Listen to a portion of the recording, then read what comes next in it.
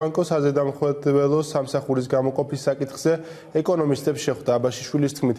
პრეზიდენტის ადმინისტრაცია ამ ინიციატივის წინააღმდეგია რადგან ეს არამხოლოდ საბანკო სექტორს არამედ მოსახლეობასაც დააზარალებს საკითხთან დაკავშირებით აზრთა სხვადასხვაობა იყო შეხვედრაზე მყოფ ეკონომისტთა შორის. ეკონომისტთა ნაწილი იზიარებს ადმინისტრაციის მოსაზრებას და ამბობს რომ ზედამხედველობის სამსახურის გამოყოფა ზიანის მომტანი იქნება. ეკონომისტთა ნაწილი კი ასეთ ცვლილებებს მიესალმება.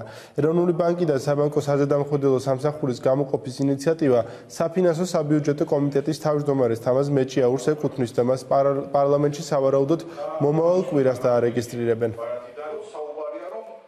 ჩვენ კვეთრად ნეგატიურად ვაფასებთ აღნიშნულ ცვლილებას ძალიან ბევრი მიზეზის გამო და პირველ რიგში ვთვლით რომ ეკონომიკა უნდა იყოს თავისუფალი პოლიტიკისგან და მსგავსი ტიპის გადაწყვეტილებები მხოლოდ პოლიტიკურ მიზანს არ უნდა ემსახურებოდეს. ჩვენ არ უჭერთ ხარს ამ კანონ პროექტში ცვლილებების მიღებას და ზედამხედველობის სამსახურის გამოყოფას ეროვნული ბანკიდან, რადგან ერთხელ იყო უკვე დეპარტამენტი ცალკე.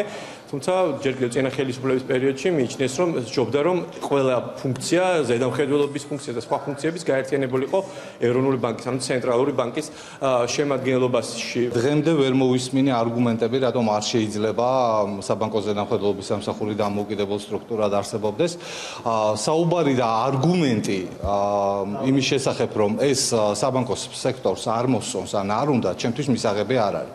არგუმენტი და მსჯელობა იმაზე რომ თითქოს ამით საბანკო სისტემა ჩამოიშლება ესეც მიუღებელია. ფოკუსი რეკლამის შემდეგ დაგიბრუნდებათ